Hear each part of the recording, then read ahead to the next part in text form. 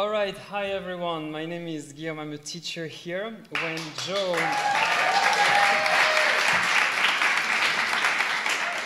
When Joe asked me uh, to talk about a play I wrote and directed last year in New York, my main problem was to find a name for the presentation. And honestly, I couldn't choose.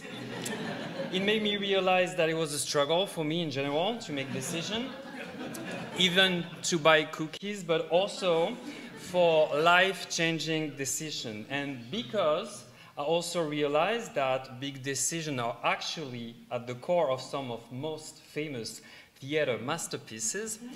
I finally decided to name this presentation about my second career as a writer slash actor slash theater director to be or not to be a teacher. that is the question. So I would like to go back to the roots of my problem, me in eighth grade. I was a very responsible student at the time. I didn't really have the choice. Both of my parents were teachers. but I also love to make people laugh, and my Spanish grandfather, my biggest fan, gave me a nickname when I was a kid, El Payaso, which means the clown. So when I was a college student, I decided to study both literature and history. I couldn't choose, again. And on top of this, I started to take acting classes. When I moved to Paris, I started to be in a couple of shows. That's a couple of shows that I did back then. And then in 2010, I created my own company.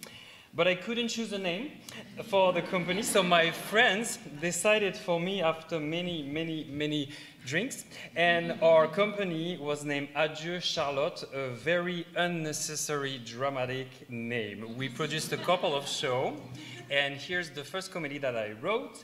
And when I moved to New York in 2013, I had the possibility to do it again with some French comedians who live here in New York and who, the company whose name is L'Atelier Théâtre uh, Company. So I've been actually playing for them in a couple of different shows. Uh, I've been playing in a show from Georges Feydeau, La Dame de chez Maxim. It's a story of a young married man who woke up one morning in his bed with a woman who is not his woman and who has to make the difficult choice between telling the truth to his wife or writing a big check, as you can see on the picture. 2020, when the pandemic started, we had to stop different projects. And a lot of people at that time were saying, when the pandemic is over, I will make big life-changing decision. Everything will be different. So that's when I started to, to write the play I was talking about at the beginning of the presentation, Le Monde d'après, in English on the other side. This play is the story of a family who gathers for the funeral of the youngest brother. It's funny. And after a couple of minutes, they, this younger brother enters the apartment and they all realize that they're actually all dead. And a woman in the middle, God, enters too and explains to them that they are actually on the other side and they have to choose what they want to become in this new world. They have to decide if they want to continue to keep their name, their job, or even their husband, or if they are ready to completely change their life. So I really wanted people to ask themselves that question. If you had the possibility to change every part of your life without any consequences for anyone else, would you do it? Or is it just a fantasy? Because me personally, I'm so indecisive that it will probably be a nightmare if I have all these possibilities. But I am not alone. All these people here that you can see are not professional actors. They actually have another job and they refuse to choose between their job and their love for acting. And some of them are pretty busy. Uh, God, over there, worked for the United Nations, for example.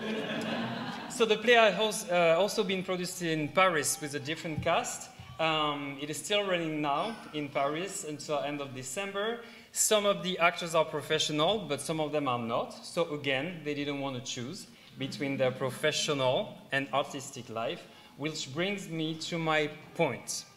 Maybe I am not the only one. Some studies showed recently that a lot of people spend more time in Netflix choosing a show than actually watching it. And there is even a new trending word to qualify people like me. They have been called slashers. So, I want everyone to take a minute and consider this. What if we shouldn't have to make decisions after all? Do you realize all the good things that could potentially happen and problems that could potentially disappear? and I am not only talking about monogamy, I'm also talking about politics, no more fights between Democrats and Republicans, no more stupid debates between French people who think that you can say chocolatine and other people who really strongly think that you have to say pain au chocolat. what I will say though, even I hear a lot this quote or another quote that I hate, in life you always have the choice. I know, that's my problem. What I will know is that I strongly feel that me, when I decided not to choose between my teaching career and my actor career, it was actually the right choice because it gave me a balance.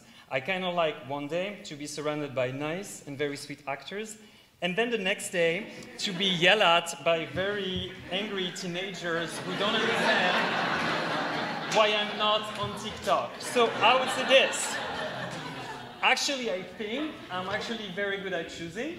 So I used to be indecisive, but, well, I'm not that sure.